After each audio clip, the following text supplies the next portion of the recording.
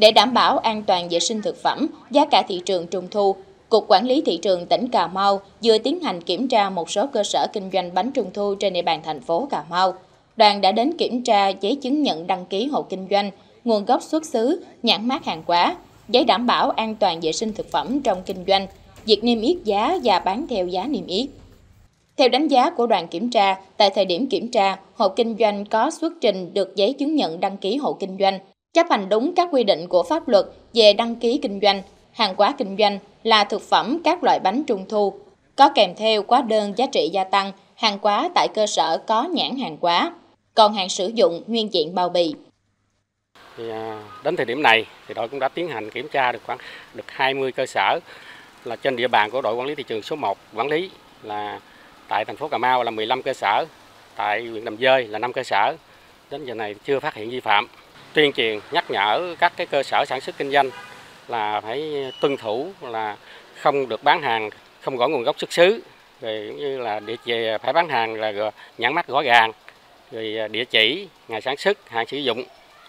Thì à, bán hàng phải có kệ kệ hàng phải có khoảng cách từ à, nền nhà, tường nhà và trần nhà. Theo đúng quy định của pháp luật.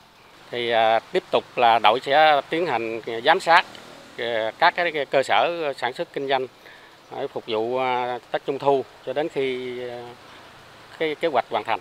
Thị trường bánh trung thu năm nay rất đa dạng với các loại bánh của nhiều thương hiệu nổi tiếng và những nhãn hàng mới ra đời như Kinh Đô, Monkey, BBK, Quỳnh Minh Thành. Mỗi loại bánh được sản xuất nhiều mẫu mã đẹp bắt mắt. Giá bánh năm nay chênh lệch so với các năm trước không nhiều, tăng chỉ khoảng 5.000 đồng trên một bánh. Giá bánh trung thu dao động từ 58.000 đồng đến 170.000 đồng. Đối với bánh trung thu, bánh bía từ 60 đến 90.000 đồng trên một cây. Bánh in dao động từ 40 đến 100.000 đồng trên một cái. Mẫu mã theo so với năm rồi nó sẽ đẹp hơn năm rồi ấy chị. Dạ, có năm nay thì nó có tầm mới hơn năm ngoái là 2 đến 3 loại á.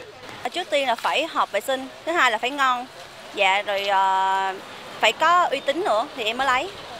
Dạ đúng rồi, nguồn gốc rõ ràng thì mới lấy. Mua những cái điểm mà nói trung tâm mà ta có thương hiệu thì ăn nó an toàn thực phẩm hơn cho nên cô muốn mua chọn những món chỗ mà ta có thương hiệu người ta bán vậy thì an toàn hơn theo ghi nhận thực tế, mặc dù giá bánh không tăng nhiều, mẫu mã bánh lại đẹp, thế nhưng sức mua thị trường giảm nhiều so với cùng kỳ. Dạ, em tự ở đây em bán hàng thì lấy theo kế hoạch, giống như lượng khách đặt nhiều thì lấy nhiều, đặt ít lấy ít, còn thì bán khách chẳng lai thì có một phần nào mà thì đơn đặt hàng khách thì có thể giảm hơn năm mỗi năm khoảng ờ, từ 20 đến 30 phần trăm.